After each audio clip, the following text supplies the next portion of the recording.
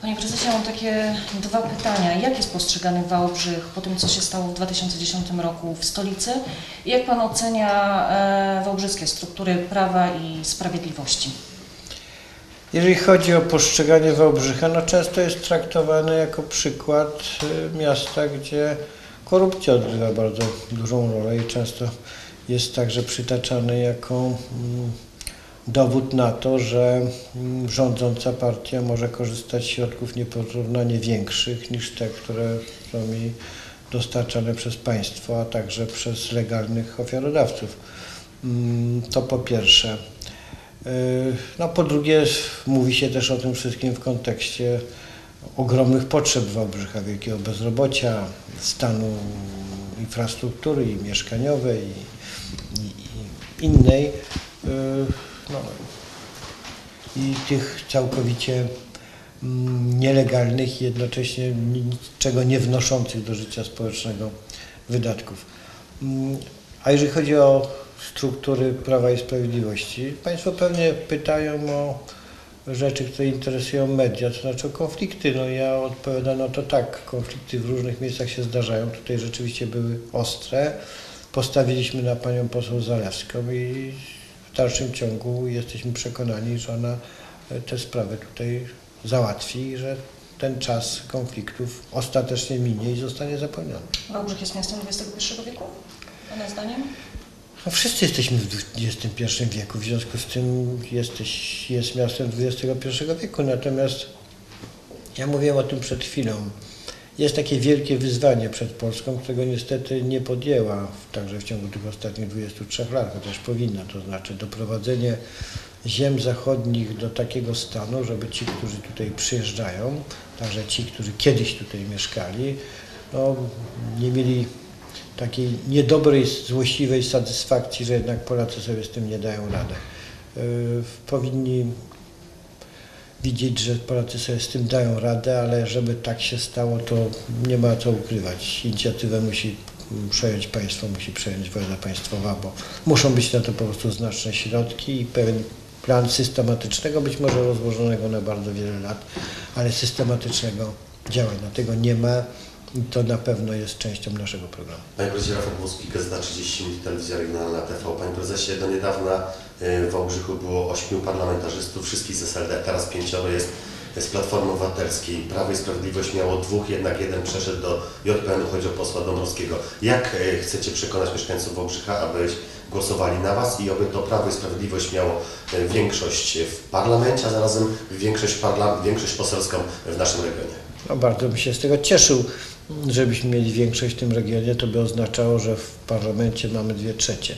Natomiast jak to zrobić? No sądzę, że jeżeli Wałbrzyszanie uwierzyliby w to, bo wiem, że dzisiaj ten poziom zaufania ludzi jest bardzo niewielki, ba- bardzo słaby jest też poziom poinformowania, w to, że my jesteśmy tą formacją, która rzeczywiście będzie chciała to zadanie, o którym mówiłem przed chwilą, wykonać, to, to sądzę, że wtedy będziemy mieli wysokie poparcie. Chodzi o to, żeby do ludzi dotrzeć i żeby ich przekonać, że ktoś tutaj może rządzić, a jednocześnie ma dobrą wolę i widzi to, bo to, to widać gołym okiem się z tym nie zgadza. Nie jest nastawiony na to, żeby załatwiać jakieś partykularne interesy, jakieś grupowe interesy, żeby tam rozstawiać swoich ludzi w różnych miejscach, tylko tym, żeby w tej części Polski, która dzisiaj rzeczywiście nie jest w dobrej sytuacji, się szybko zmieniało i zmieniało w taki widoczny sposób, to jest też bardzo ważne dla życia społecznego, dla życia każdego z nas, ale zmieniało też przede wszystkim w ten sposób, żeby była praca, żeby ten teren, można powiedzieć, ruszył do przodu. No tu jest oczywiście też pytanie o górnictwo węglowe, no bo jest zniszczono w sposób całkowicie nieodpowiedzialny i dzisiaj mm, ten teren za to płaci, Wałbrzych za to płaci. Przecież te kopalnie, przynajmniej część z nich, te nowe szyby, które też zniszczono, by dzisiaj pewnie funkcjonowały. Y, Ostatnie pytanie. Spotykamy się w siedzibie Państwowej Wyższej Szkoły Zawodowej, więc ciężko mnie spytać, jaką ofertę dla młodych Wałbrzyszan y, ma Prawo i Sprawiedliwość. No i tak jeszcze, tak mając okazję, y, czy wierzy Pan, że po nowym roku wotum nieufności, które chcecie y, postawić, uda się przegłosować? No, dynamika polityczna jest bardzo duża w tej- chwili w Polsce. To, to, co tydzień czas, często zmienia się sytuacja, więc wszystko jest możliwe i chcemy to zrobić. Natomiast jeżeli chodzi o ofertę dla młodych, no ona jest w istocie dla Wałbrzycha taka sama jak dla innych, to znaczy jest ta oferta, o której tu już mówiłem, ale jest także oferta dodatkowa, mianowicie my wiemy, że w Polsce miliony miejsc pracy można stworzyć tylko na tej zasadzie, która już kiedyś na ogromną skalę działała, to znaczy poprzez stworzenie takiej nowej fali polskiego kapitalizmu, właśnie z ludzi młodych i my wiemy, co trzeba zrobić, żeby taka fala mogła powstać, bo ona dzisiaj jest, można powiedzieć, zablokowana. Jest mnóstwo młodych ludzi, choćby właśnie absolwentów takich szkół, no, którzy zderzają się ze ścianą, bo powinni chcieć zakładać własne miejsca pracy. Samemu w kilku proponować pracę innym, no, ale nie mają pieniędzy.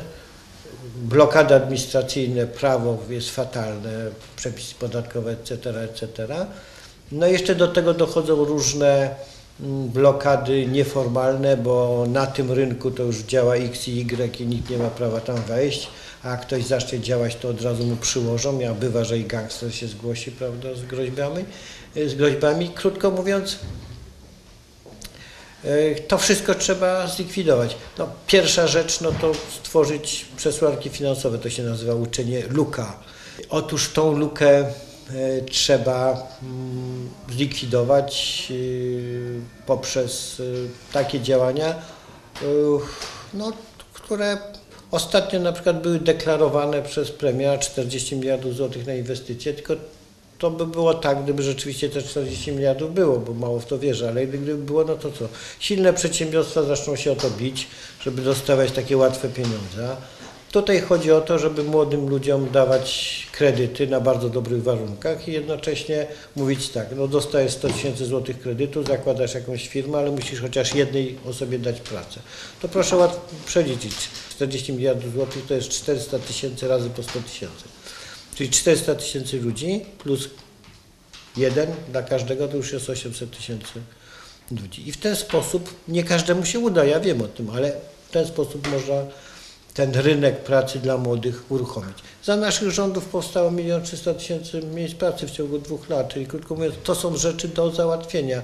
Myśmy mieli oczywiście wtedy lepszą sytuację pod wieloma względami, nikt temu nie przeczę, ale można w Polsce szybko tworzyć nowe miejsca pracy. Ta fala kapitalizmu z przełomu lat 80. i 90. stworzyła 6 milionów miejsc pracy. Dziękuję bardzo.